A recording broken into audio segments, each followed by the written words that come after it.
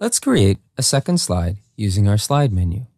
We'll go up to the top here, click on slide, and select new slide. When we click new slide, we automatically get our new blank slide.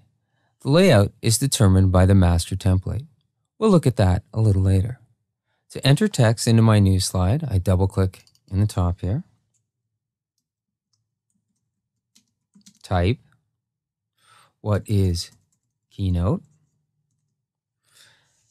And down here, you can see there's a bullet beside the text. The style of the text in this box is bulleted. Double click in here and enter my text. Dynamic presentation software.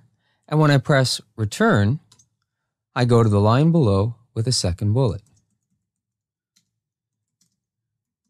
Used to inform and entertain your audience. So that's how you use the slide menu to create a new slide. Let's create our next slide using the toolbar. The toolbar is located up here, right below our main menu. When I move my pointer over one of the icons in the toolbar, I'll get a tooltip that describes what that button does. In this case, it says add a new slide. If I move over here, the tooltip says choose a view to use with creating a slideshow.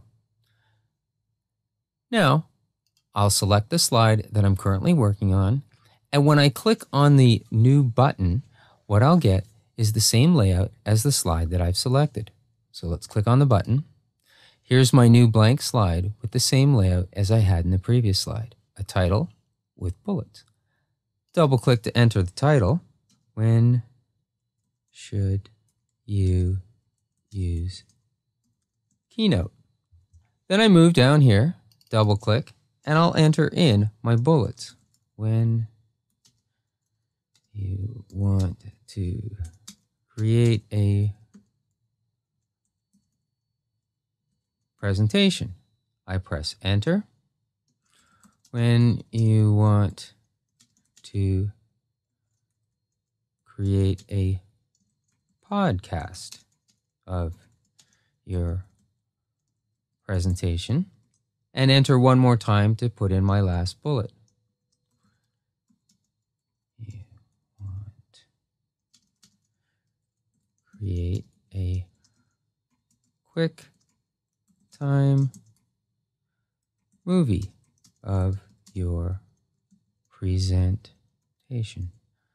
So that's how you can create a new blank slide using the New button in the toolbar. Let's create our next slide using the key command. When we selected the slide menu, we saw the new slide command is Shift Command N. So the key command is Shift Command N. Since we have this slide selected, when we use the key command, we'll get the same layout as the selected slide. Hold down the Shift key, the Command key, and tap the letter N, and there's your new blank slide. As before, I double click in the title bar and start typing Who uses Keynote?